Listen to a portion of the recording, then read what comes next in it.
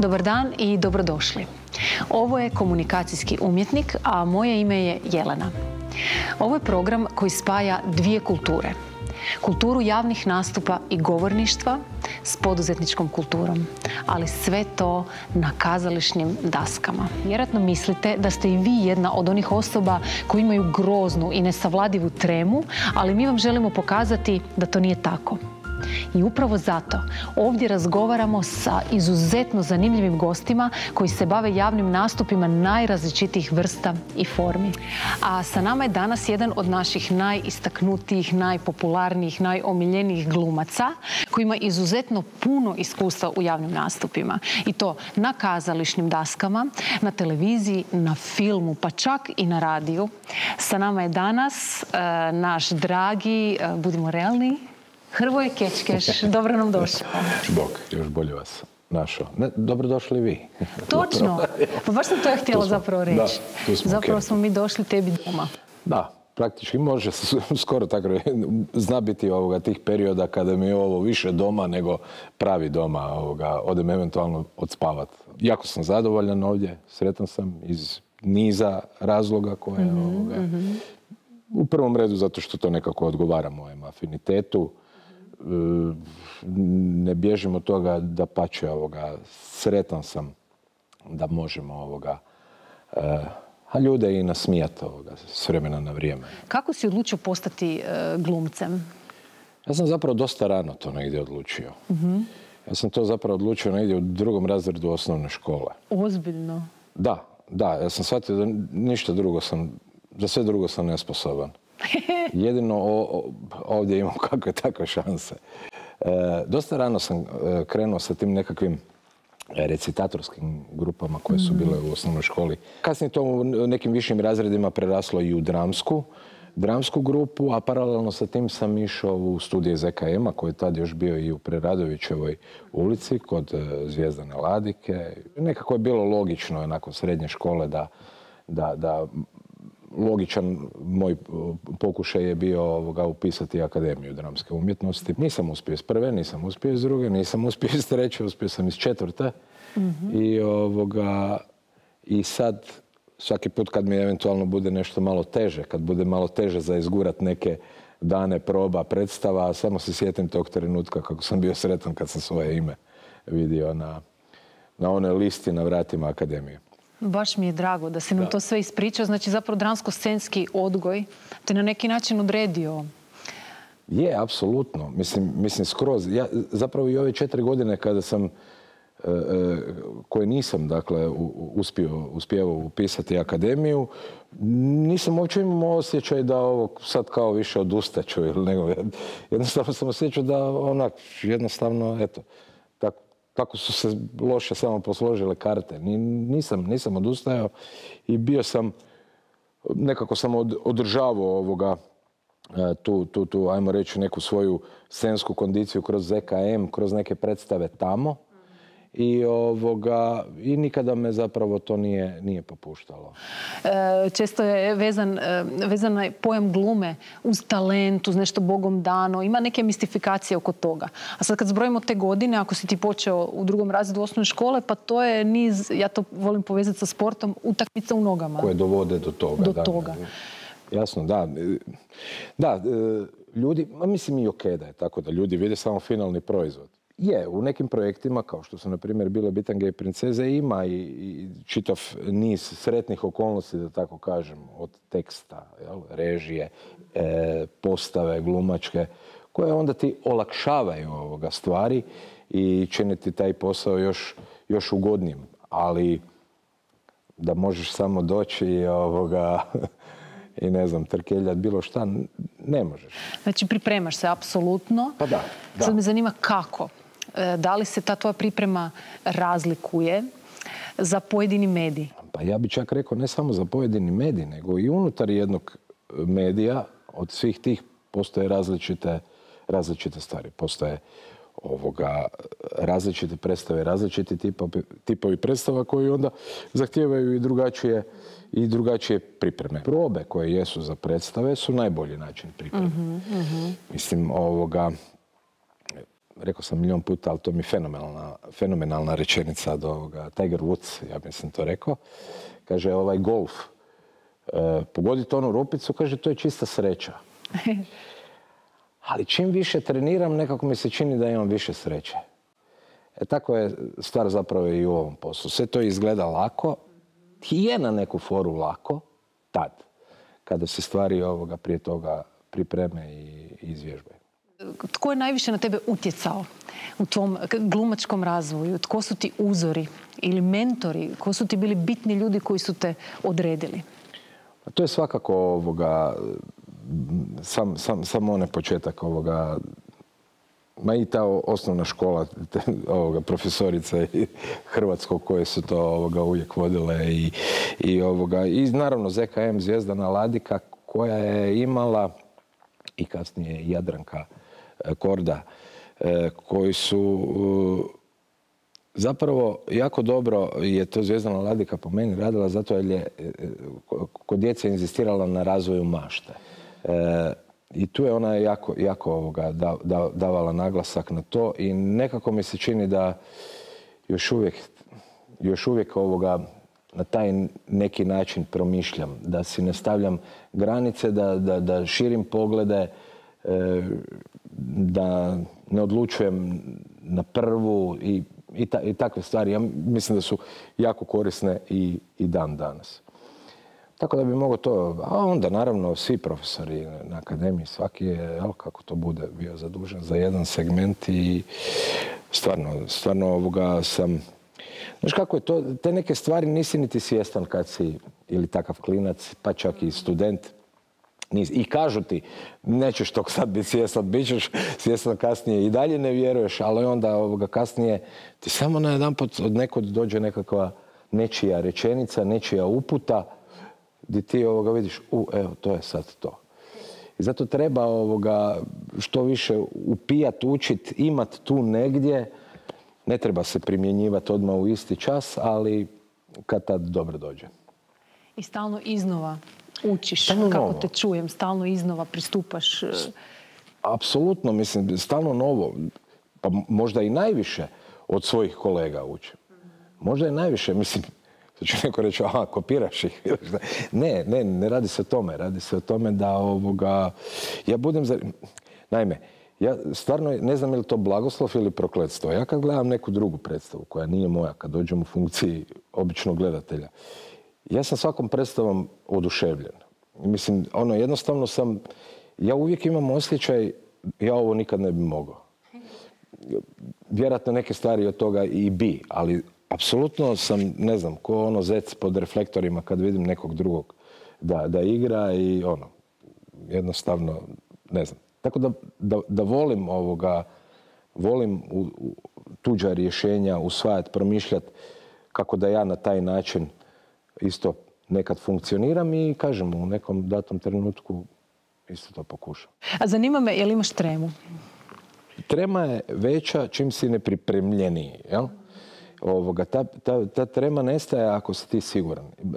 Nekako, to je valjda nekakav možda isto alat koji sam ono stekao kroz, kroz godine. ajde, nekakvo iskustvo, ajde, zaista sad već da. Ovaj, a, a, a, a, to je da, mi, da se fokusiram na svoju potrebu da pokažem e, drugima šta sam napravio. Dakle, ja imam želju to pokazati. Nemam, nemam strah, nego imam želju pokazati. A da bi imao, naravno, tu želju, da ne bi bježao od nje, moram i sam biti zadovoljan s tim. Da bi sam bio zadovoljan s tim, moram se potruditi na probama. Tako da je stvar zapravo kad se malo ovak izanalizira, jednostavna i logična. Mislim, ovoga, šta ćeš mi na sceni ako, znaš, ono, ako ni sam nisi ovaj, siguran i ne stojiš iza toga. Pa voljela bi, ja često govorim svojim studentima koliko traju probe u kazalištu, pa mi često uh, ne vjeruju. Pa bi voljela da ti kažeš e, našim gledateljima koliko je uobičajeno da traju probe. Znači koliko je to sati dnevno i koliko je to dana, tjedana. Znači ono što je nekako, ajmo reći, neki minimalni, ono, propisani, ovaj, propisana satnica, to je da u kazalištu budu četverosatne probe. One to obično traju od 10 do dva, ali ovoga, vrlo često u pravilu, skoro uvijek ta, se granica prelazi. Čim se više približava datum premijere, ovoga, te probe postaju duže i se su češće duple probe. Dakle, i jel, ove jutarnje i kasnije ovoga večernje probe. To se skupa traje negdje dva ili tri mjeseca, ovisno o projektu. Svakodnevno, sa jednim danom pauze u, u, u tjednu. Da. Tako da je to puno proba. Što s druge strane ovoga je odgovor na pitanje da često ljudi pitaju kako vi naučite sav taj tekst. Jel, to je ovoga najčešće pitanje s kojim se ovaj, mi susrećemo. Ovaj, pa evo kako.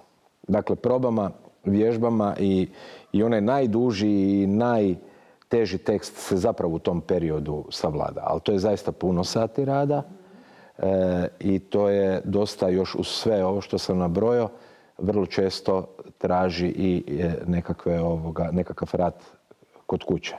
Ajmo pričati malo o glasu. Jel puno trošiš glas? Da li e, ga vježbaš, čuvaš, zagrijavaš? Imaš neku metodu omiljenu? Recimo, potrebno je, to naročito dolazi do izražaja kada si na nekom gostovanju. Kada gostuješ na nekom novom terenu, u nekoj novoj dvorani, a ti si sve svoje probe i izvedbe do sada radio u svojoj dvorani, na svojoj sceni, e, onda je malo potrebno oslušati e, taj prostor, e, malo vidjeti kako on funkcionira bez publike, kako funkcionira sa publikom i negdje tu najčešće ovoga se igram sa, sa ovoga lovice sa, sa, sa svojim glasom. Evo Hrvoje, do sad smo razgovarali nekim uobičajenim tonom, a sad me zanima, možeš li nam molim te objasniti e, što trebaš napraviti sa svojim glasom na tehničkoj razini kako bi sada ispunio ovu veliku pozornicu? Da. Mislim, stvar je u tome ovoga, kad, ovaj, kad si na sceni, onda e, e, malo moraš više rastvoriti. Mora se, moraju se uključiti i pluća. Dakle, jel? Najbolje da pokažem jednim primjerom. Dakle, baš pričali smo i tim probama i važnosti probe. Ovoga, još na probama sam e, zapravo dvojio ovoga, kako izgovoriti prvu rečenicu s kojom ulazim, s kojom se otvaram u predstavi. Dakle, riječ je o predstavi Škrtac i ulozi Arpagona i sad ja prvi puta ulazim na scenu. Neka moja prva ideja je bila da to odmah mora biti glasno, jako, rečenica glasi ovoga... E, Gubi se i to s mjesta, neću ništa ni čuti, hajde, nestani odavde, huljo nad huljama, rođena zavješala. E, da odmah dam do znanja o kakvom liku se radi. E, Kasnije nekako sam ipak bio skloniji i e, zapravo primjenjujem u konačnici ovoga varijantu koja je možda jednaka u svojem intenzitetu, ali je nekako, ali je tiša, a opet ovoga, a opet e, e, oslikava isti karakter. Dakle, to sad izgleda u konačnici, jel? Gubi se i to s mjesta. Neću ništa ni čuti. Ajde, nestani odavde. Huljo nad huljama. Rođena zavješala. Evo, one su različite, a, ovoga, a zapravo je efekt možda čak i, jači sa, sa, sa, ovim e, jednim, jednim glasom. U onoj prvoj varijanti je tu sve otvoreno, e, rašireno, ovo, ono. Pazimo na grlo pri takvom deranju, da, ne, ne, da nije baš da što maj, meni sad recimo isto nije do kraja zagrijeno, pa možda malo pobjegne na grlo, ali to je ono što treba izbjegavati. Samo da taj zrak ovoga bude protočan. U ovom drugom, da bi napravili intenzitet, samo, ja, ti ćeš bolje znati koji dio ovoga točno malo, jel, ovoga malo, malo jače iskontroliramo i ovoga, i ovoga držimo. A što je s radijom? Znam da imaš e, rano jutarnje termine kako se glas ponaša u šest ujutro? jako, jako loše. Ne, e, dobro, dobro, dobro se ponaša. To je, a naravno ne mogu ravno, ravno ovoga iz kreveta doći. Dakle, u tih nekakvih sat vremena do početka emisije glas ipak ovoga malo, malo proradi. I ovaj, ali mi se nekako više izvlačimo na šarm nego na glasove i tehniku, tako da ovoga, s te strane ovaj, ja mislim da, da, da, da, da smo ok. Nije, nije ovoga, u slučaju, jer desi se nekakve ili prehlade ili nekako da ode glas, a to je onda na radiju i teže prikriti, jer si ovoga, ti je to jedino ovoga što imaš. Ali onda budemo iskreni. Onda budemo, onda kažemo... Realni. Ljudi, pukovi, kako kaže kolega ovoga, neki dan na početku našeg jutarnjeg programa na Narodnom, kaže ovoga, ljudi spao sam dva sata, odmah u šest ujutro, ljudi spao sam dva sata, ako prvi puta slušaš jutarnji klub, ajde nemoj počni od ponedjeljka. Znači ti si ujutro na radiju, onda dođeš u kazalište. Kako Da, izgleda neki tvoj tipični proba, da, Često jesmo. radni recimo? Pa upravo tako, ustanem u pet ujutro, odem na radio, budem na radiju, naša šihta traje od 6 do 9, nešto sitno se tamo zadržimo da bi jel, pripremili stvar, dogovorili za, za ovoga iduće jutro, da baš ne budemo, da ne padnemo kod da padnemo s Marsa. Nisu to neke pretjerane, to su, ali nekakve smjernice moraju biti. Ne možemo doći na radio i sad ne znat uopće šta ćemo. Jel? Tako da, se, da i tu provedemo nekakvih, neko izvjesno vrijeme. Otprilike do moje probe, ako sam, ako sam u ovom režimu proba u kazalištu, često to je tako. I proba je ovdje od 10, rekao sam, do, do 2. Nakon toga se vraćam ovoga doma, ručak, odmor, odspavam obavezno popodne i, ovoga, i na večeri predstava. Bome, impresivno, da. Da. To je ko, ko vrhunski sportaši, znam, kako da. su u režimu. Mislim, Je, u treningu, je, zvu- zvuči utakmicama, da. da. Da se možda čovjek preplaši. Ono. Ali zapravo ne, ne ispada tako. Za- Zapravo nije, nije ni svaki dan predstava. Recimo. Jasno. Budu zaista i jedni ono, stvarno ovoga značajan period kroz godinu kada nije taj kada nije taj, Mhm. Taj intenzitet, da. Da, kada nije taj in- intenzitet, da, upravo to. Pa treba i vremena, odnosno treba li ti vremena da se malo čovjek i pročisti od nekih sadržaja, od baš da ne ide čovjek iz projekta u projekt, to isto može biti mentalno i psihički prilično ne, ne, ne, jako. Imam, evo, baš vezano uz radio i kazalište zajedno, to iskustvo e, dvije uzastopne podjele. Dakle, jednu izguram i sa guštom, a ovu drugu, ako sam odmah, dakle, izašli smo sa premijerom jedne predstave i započeli odmah probe rad na drugoj predstavi, to je onda već nekakvih pet mjeseci koje je onda, to je onda malo, malo previše. Još bi te pitala vezano za filmsku glumu i glumu pred kamerom. Koje su razlike? Pa, e, naj, ona najočitija, na- klasična je ovoga, ta, ta- svijest o, o kadru.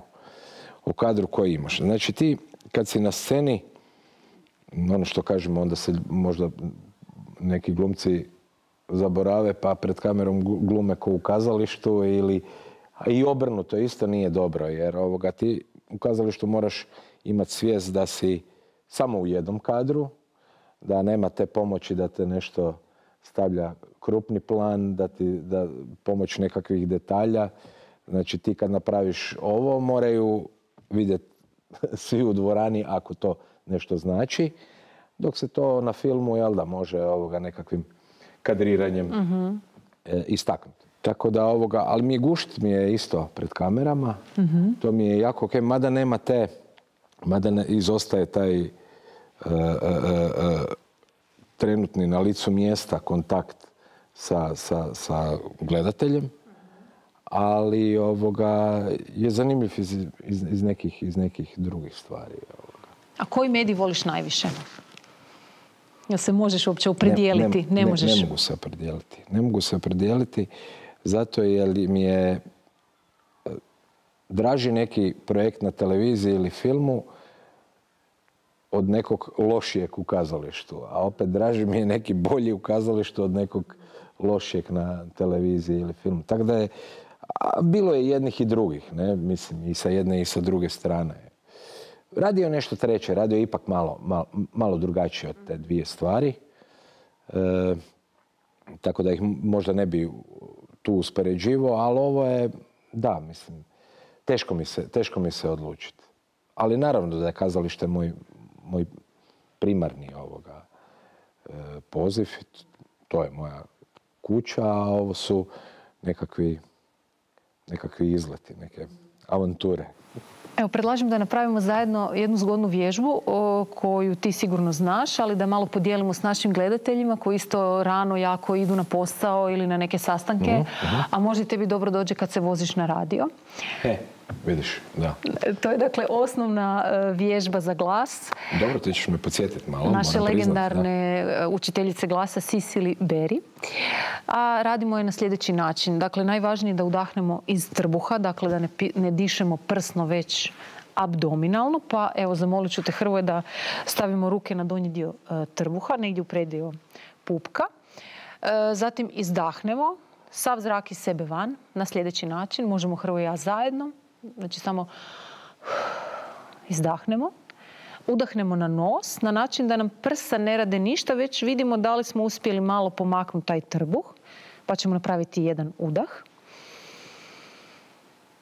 I onda na slovo M idemo samo osjetiti tu vibraciju tona.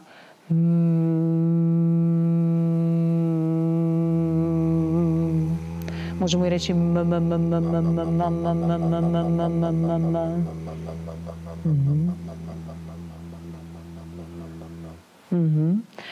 Osjetit ćemo da nas malo škaklje usne, jel osjetiš Hrvoje? Ajmo probati još jednom, znači udah napravimo.